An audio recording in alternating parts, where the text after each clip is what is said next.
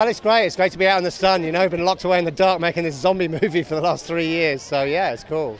Well, it's a beautiful handcrafted medium, you know, and it's all like dimensional. We've created this beautiful miniature world, and in 3D, it just gives it this an extra dimension. It really invites you into this this gorgeous craft of it.